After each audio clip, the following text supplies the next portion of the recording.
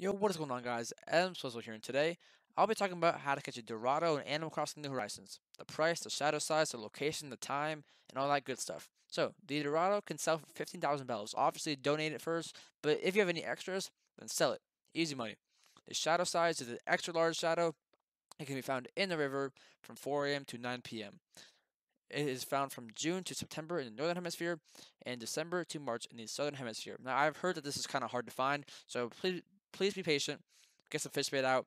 Um, then just be patient. Hopefully you get it. Good luck catching it. Thank you guys for watching. That is all. Subscribe for more Animal Crossing content, videos like this, and I'll see you guys in the next video. Peace.